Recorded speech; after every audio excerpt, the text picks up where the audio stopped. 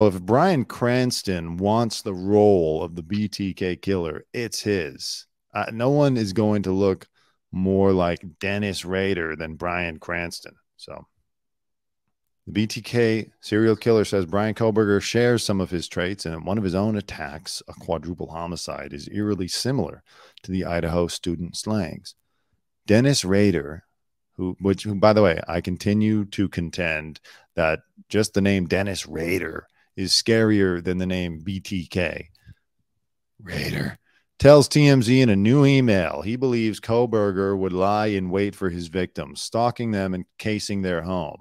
All of this, BTK says, was much like I did, referencing Kohberger's dark mind, which he can relate to. Murder 4, much like the Oteros, up close and personal, stabbed, BTK wrote. Like, do, he speaks very in, in clipped sentences. Like, does the prison charge you by how many words you put into a sentence? It's odd. He went on to mention that Kohberger left DNA at the crime scene, just like he did at the Otero house, leaving his semen on one victim's body. Jesus Christ. Took police years to link him to the crimes after the advancements in DNA technology. Lucky fuck. You did it during the time when they took a long time to link with DNA technology. That's the only reason. You know, guys like BTK probably get this sense of uh, you know get a big ego because it took them so long to be caught. It's like no, the technology just wasn't there, asshole. You would have been picked up in five weeks if you try that shit today. However, Kohberger was soon connected to the homicides after DNA was found on a knife sheath. Yeah.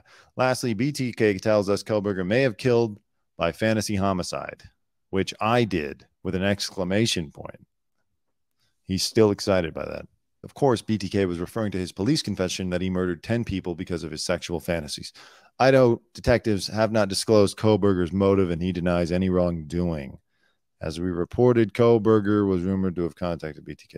Blah, blah, blah, blah, blah. All right. Yeah, we don't know about Kohberger. I read somewhere that he never had a girlfriend. No one remembered him with a girlfriend.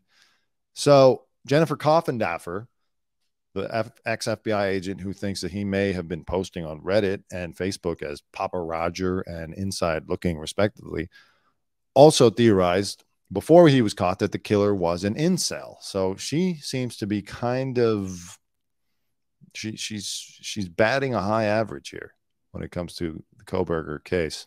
Surviving Idaho roommate Dylan Mortensen is seen outside her parents' home for the first time since it was revealed she froze in fear when she spotted the killer. I saw uh, on Jennifer Coffindaffer's Twitter again, like, you know, maybe they should have redacted Dylan's name and just said a roommate witnessed the killer because it's kind of not fair. We don't hear much about Bethany Funk, which, you know, some of you pointed out that I couldn't remember her last name.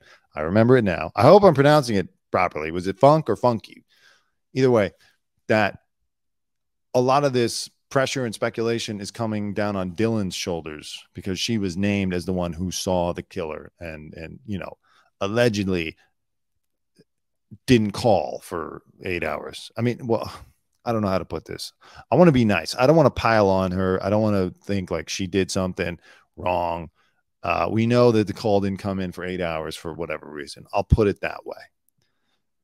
She's probably scared out of her mind.